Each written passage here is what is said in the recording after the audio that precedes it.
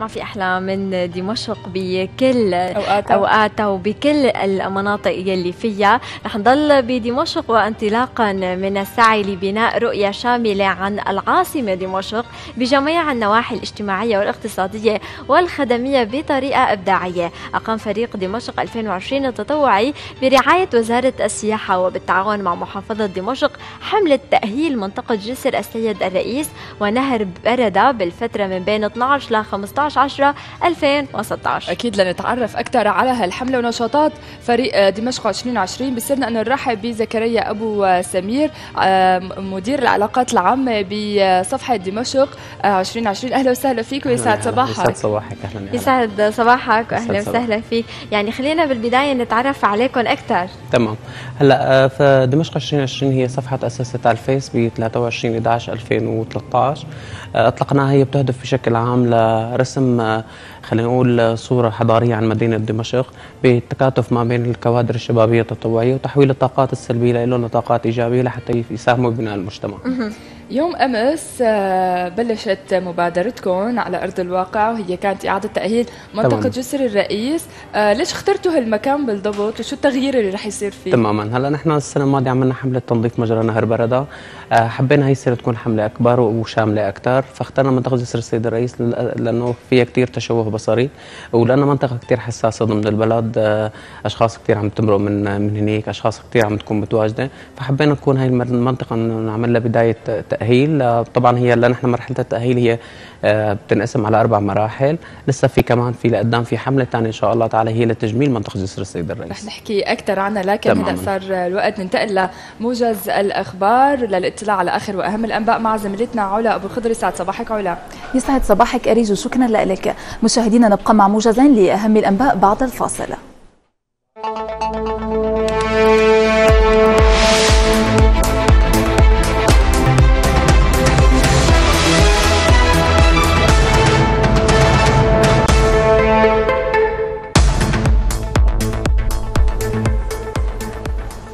combat. أعرب الرئيس الروسي فلاديمير بوتين عن أمله أن يكون اجتماع لوزان بعد غد السبت مثمرا لدعم التسوية الحقيقية للأزمة في سوريا مشددا على أن الولايات المتحدة الأمريكية تتحمل مسؤولية ما يجري في سوريا حاليا والمنطقة عموما. بدوره أكد وزير الخارجية الروسي سيرجي لافروف أن اجتماع لوزان الوزاري الخاص سيكون بمشاركة روسيا والولايات المتحدة وإيران والسعودية وتركيا وربما قطر. وقال لافروف إن واشنطن لم تنفذ حتى الآن تعهد تعهداتها بالفصل بين من تسميهم بالمعارضين المعتدلين وعناصر المجموعات الإرهابية في سوريا.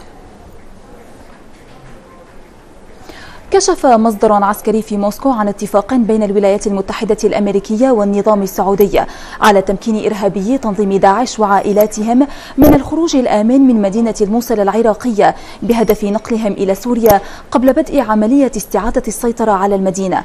وقال المصدر إن الاتفاق ينص على أنه في أثناء اقتحام المدينة سيوجه طيران التحالف ضرباته إلى المباني الفارغة داخل الموصل بشكل متفق عليه مسبقا مع الإرهابيين. وقبيل عملية تحرير محافظة نينوى عمد إرهابي تنظيم داعش إلى قطع أربعة جسور تربط الساحل الأيمن مع الأيسر بالكتل الكونكريتية وذلك بهدف منع تنقل المدنيين ونزوحهم لممرات حددتها القوات الأمنية العراقية. ورفع تنظيم داعش حالة التأهب بين عناصره الذين يعيشون حالة من الخوف والهلع بعد تصاعد وتيرة عمليات الجيش العراقي لتحرير نينوى. في خبرنا الأخير وفي عدوان سافر على السيادة اليمنية أعلنت وزارة الدفاع الأمريكية قصف ثلاثة مواقع للجيش اليمني واللجان الشعبية على ساحل البحر الأحمر. وقال مسؤول أمريكي إن القصف تم بواسطة صواريخ توماهوك عابرة أطلقتها المدمرة يو إس إس نيتس بعدما أجاز لها الرئيس باراك أوباما القصف الذي يأتي بعد أيام من ادعاء البنتاغون باستهداف البارجة الأمريكية قبالة السواحل اليمنية الأمر الذي نفاه الجيش اليمني. وصلنا إلى ختام الموجز. عودة إليك أريج. نعم شكرا كثير لك علا اما هلا أكيد مكفين فقرتنا الأخيرة ومبادرة حملة 2020 يلي بلشتوا فيها يوم أمس مع تأهيل منطقة جسر الرئيس؟ تماما. آه نحن اليوم إن شاء الله تعالى عندنا المرحلة الثانية. هي مرحلة طلاء الاعمده وعندنا طلاء السور الخارجي. آه نحن هلأ تقريبا على الساعة 12 إن شاء الله الظهريات رح تبلش الحملة. آه مستمرين لحدود تقريبا الساعة 5 فيها. آه في كثير أصدقاء بيقولوا إنه يعني هلا نحن كادر التطوع عندنا كثير كبير بس ما فينا ننزله كلياته على أرض الواقع لأنه بده تجهيز معدات وهالقصص هي كلياتها. فامبارح نزلنا أول قسم اليوم رح ينزل القسم نعم. الثاني بكرة رح ينزل القسم الثالث يعني بحس إنه الكل يكون مشارك بالموضوع طب نحن هلا رح نروح لنشوف كيف كان امبارح وشو المرحلة الأولى وبنرجع نكمل حديثنا. نعم.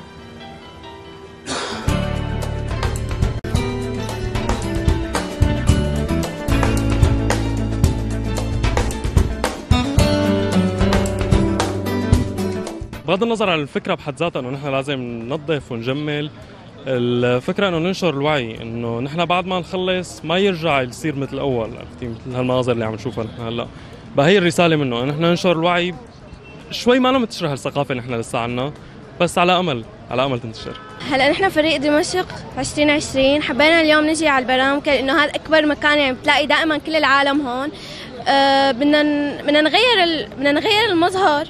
يعني بدنا ننظف الحيطان بدنا ننظف النهر بس مشان على اللي إنه مثلا إذا حدا جديد اجى على سوريا يعرف إنه نحن آه، أكيد ما لنا يعني مهملين بحضارتنا ومدينتنا ضمن أول يوم بالنسبة لنا كفريق تطوعي أول شيء رح ننزل نبلش آه، بإزالة كل شيء بوسترات آه، إعلانات أي صور سابقة للمرشحين مجلس الشعب. نحن كلها رح نزيلها. هي أول شيء رح تعطينا نظافة أول شيء بالنسبة لمنطقة تحت, آه، تحت جسر السيد الرئيس. آه، بعدين بثاني يوم نحن رح نبلش آه، نلون هالأعمدة هي. رح نعطي منظر جمالي أكثر باليوم يلي بعده رح رح نحط ممكن زريعات صغيرة مقصوصة بشكل مرتب جدا فني. رح نعطي يعني جمالية أكثر لهالمنطقة هي.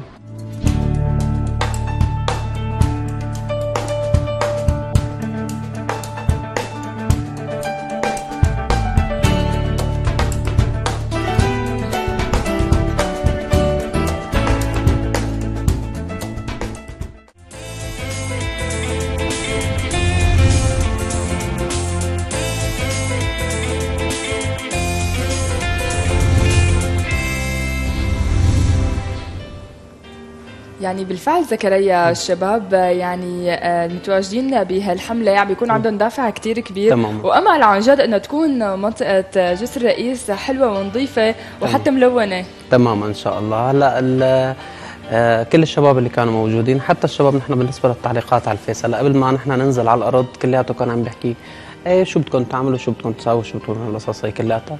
وقت امبارح صاروا يشوفوا الشغل وصاروا يشوفوا الصور كلياتها. صاروا لي يا ريتنا نزلنا والله حقكم علينا ما نزلنا. يعني الشباب عنا في عنده طاقات كثير كبيرة. آه، بس للأسف إذا ما كان في توجيه معين باتجاه معين فهي الطاقات تحول لطاقات سلبية. نحن بنحاول نكون هي الطاقات إيجابية. هلأ الأشخاص اللي كانوا امبارح موجودين ضمن الحملة آه، في أشخاص كانت تمرق تتفرج إنه شو عم تشتغلوا يعني؟ أنتم شو عم شو عم تعملوا يعني؟ رح ترجع تتوسخ كذا. آه، فنحن إن شاء الله تعالى نحن هلا يعني آه، بالتواصل مع الجهات المعنية إنه إن شاء الله يطلع قرار لفرض عقوبات ما بتكون عقوبات مادية صغيرة عقوبات مالية كثير كبيرة على الشخص اللي عم بيلزق المنشور وبيعمل تشوه بصري وحتى على الشركة اللي عم يكون هي من يعني هي عاملة الإعلان للموضوع هذا. آه، في أماكن كثير هلا إن شاء الله المرحلة الجاية رح تكون مخصصة للمنشورات نعم. والبوسترات وهالقصص هي كلياتها. آه، كمان بدنا نحن يكون في وعي عنا بالمجتمع. آه، لحتى نحن نصل لفكر جمعي لأنه نحن نحافظ على الممتلكات العامة كانها ممتلكات خاصة هذا الشيء بده وقت كثير بس نحن خلينا نقول خلينا نبلش هلأ أحسن ما نقول بعد ثلاث سنين أو أربع سنين أو خمس سنين. ليش ما بلشنا من قبل؟ نعم. في تعب في جهد بس مثل ما بقول الطريق طويل وإن شاء الله نحن رح مكملين فيه لنصل للنتيجه النهائية. يعني كيف عم تقدروا إنكم أنتم فعلا توصلوا هي أفكاركم للناس؟ يمكن تزرعوا حتى هذا هذا الروح روح إنه. خلي بلدنا نظيفة خلي بلدنا حلوة نحن اللي عايشين فيها يعني. تماما. هلأ بهذا الموضوع بالذات بده يكون في بصراحة هو مقسوم على شقين. الشق الأول إنه هو الشاب أو الصبية اللي حابين يشتغلوا بالعمل التطوعي. لازم يساهموا هن من مبدأ المحبة بداية. ومن مبدأ إنه الشغف إنه البلد لازم تكون أحسن. يعني أي دولة بالعالم ما أحسن من سوريا. بالعكس سوريا لها عندها تاريخ وحضارة 7000 سنة. يعني بس القصة عم بتصير إنه هدول الشباب آه، عم بيشوفوا كيف بدي لك إنه عم بيشوفوا شخص عم بكف وعم بيصيروا هن عم الإنسان هو عم يكون المخرب. تماما. هلأ ببلاد برا هن مانن برجع بقول لك هن مانن أحسن من من الشعب السوري. لا بس في هنيك في قوانين وفي ضوابط كثير كبيرة هذا الشيء عم بيخلي الشخص أول شغلة بيكون كرادع أخلاقي وثاني شغلة كرادع قانوني. هلأ نحن عم نشتغل على الرادع الأخلاقي وإن شاء الله موضوع الرادع القانوني هو مع جهات مختصة. إن شاء الله هن بدهم يعني إيد بإيد لحتى نحن نوصل شيء لكل الجهات يعني ان شاء الله نتعاون معكم بهذا المجال. تمام. ما في حدا ما بيحب إنه تكون بلد نظيف قريش أكيد. آه زكريا انطلقتوا أنتم من مبدأ شباب البلد لخير هالبلد. تماما. قديش هذا الشيء بالفعل عم بتجسد عبر نشاطاتكم؟ تماما. هلأ هذا الموضوع نحن بالبداية مثل ما قلت لك كان في آه، عشوائية بالطرح وما بدي لك كان في عشوائية بس نحن أي موضوع بنطرحه آه بنطرحه وبنستنى شوي لنشوف نحن تقبل الاشخاص بالنسبة له. بنناقش الأشخاص ضمن الشو... ضمن الصفحة عنا على دمشق 2020 إنه كيف ممكن أنت تتقبلها. يعني صار موضوع إنه أنت كان في كثير صفحات بتعمل إنه خلص أي شخص بينتقدهم بطريقة سلبية أوكي الحظر أول طريق. نحن ما عندنا حظر أول طريق إلا في ثلاث حالات نحن دائما بنحكيهم بكل المقابلات. أول شغلة الحديث بالسياسة الطائفيه والتهجم على الأشخاص. بس هدول الثلاث شغلات أي شخص عم بيعملهم لو كان كثير مهم بالنسبة للصفحة نحن مباشرة بنعمل حظر. هلا نحن لحتى انت تبني ثقافة بدك انت كثير تتعبي. بدك انت تحاولي تناقشي الطرف الثاني اللي عم هو عم بيحاول انه آه يعني هو عم بيحاول يقنعك بفكرته وانت عم تحاول تقنعي تقنعيه بالفكرة اللي عندك. بس انت بده يكون بالك أطول منه لأنه هو دائما بيعتبر حاله إنه هو الصح. هلا نحن الحمد لله بالبداية كان كثير في عنا صعوبات. هلا من فضل الله كلياته الحمد لله صار إنه ما بدي لك إنه نحن تبعناهم على طبعنا لأنه نحن الصح. لا بس لأنه نحن تبعناهم على طريقة إنه هن خلي محبتك للبلد هي شعارك بالأساس خلي هي قانونك بالحياة. بس بنحب البلد البلد بترجع بخير كلياتنا بنصير بخير. يعني هي اللي بتدفعنا هي الحب هو اللي بيدفعنا للعمل الصحيح دائما آه، ببلدنا. بعد موضوع جس الرئيس وهالعمل اللي عم تقوموا فيه شو محضرين؟ شيء عم تشتغلوا عليه آه كمان؟ نحن بصراحة بنحب يعني ما نحكي على اعمال آه. لقدام غير لحتى نحن نخلص كل مرحلة بنتناقش فيها سلبياتها وإيجابياتها. شو شو أثرت بالمجتمع ما أثرت. نرجع بنحكي عن الحملات الثانية نحن من فترة كان في عندنا حملة لتأهيل قلعه الحصون. وكنا جاهزين كل الأمور بس بسبب ظروف خاصة ما ما يعني تأجلت الحملة. بس هي بنرجع بنقول إن هي ما التغت هي تأجلت مجرد تأجيل. فمشروع دمشق 2020 هو ما بس لمدينة دمشق نعم. هو مشروع دمشق 2020 لكل المحافظات السورية. بشرفنا نعمل حملات تطوعية بحلب باللاذقيه بكل المحافظات السورية. لأنه هو مشروع آه، فيك تقولي مشروع بدأ كمشروع عائلي لأنه تاسيس المشروع كان هو من آه، أخي أحمد هو مدير المشروع وفي أخي جلال نحن قعدنا هيك وشو فينا نقدم للبلد لقينا هالصوره هي وبلشنا نشتغل فيها.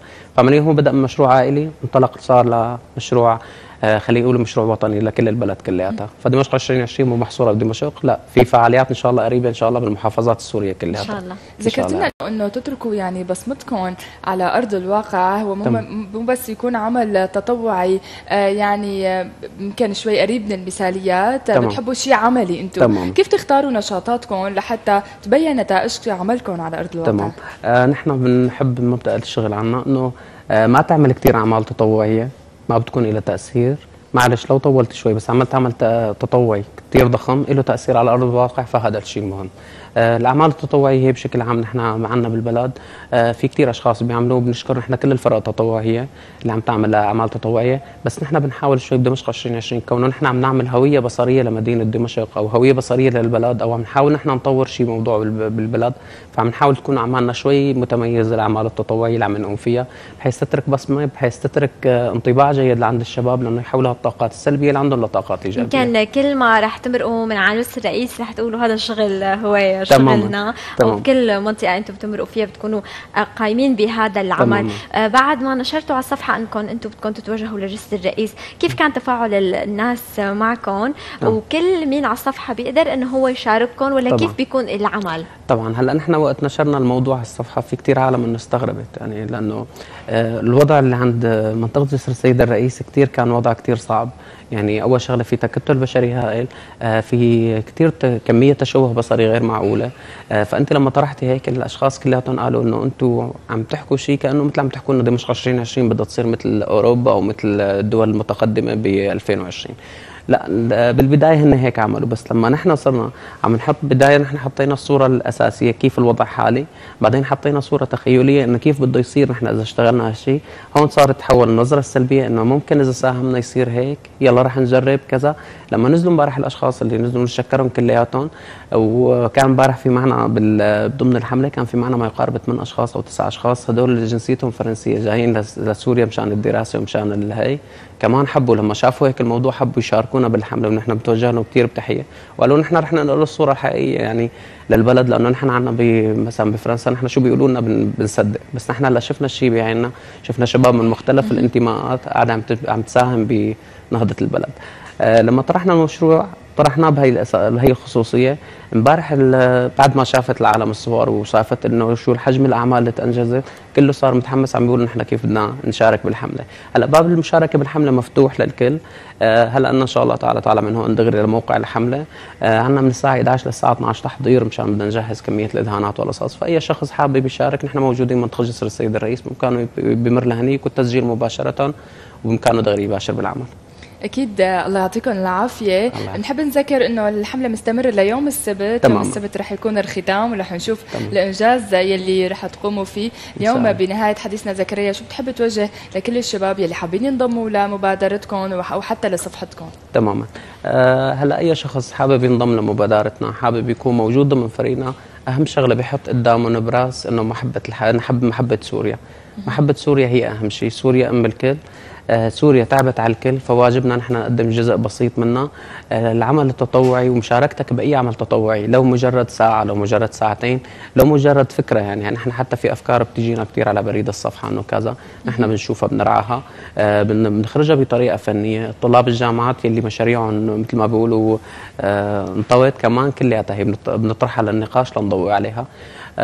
بتشكر أنا كل الأشخاص اللي آمنوا بفكرنا. آه، بتشكر من كل الأشخاص اللي حولوا نظرتهم من سلبية لإيجابية بعد ما شافوا الشغل على أرض الواقع. وإن شاء الله يا رب نحن مكملين لحتى نصل لغايتنا كلياتها. إن شاء الله بنتمنى لكم كل التوفيق. وإن شاء الله هلأ بنشوف هيك نتائج آه، حلوة على أرض الواقع. وكل الناس لازم تتوجه لجلسه الرئيس لتشوف كيف راح يصير. نتمنى لكم كل التوفيق بهالنشاط وبالنشاطات المقبلة. شكرا لوجودك معنا اليوم زكريا. شكرا كثير شكرا كثير لك. تحياتنا لكل باقي الفريق.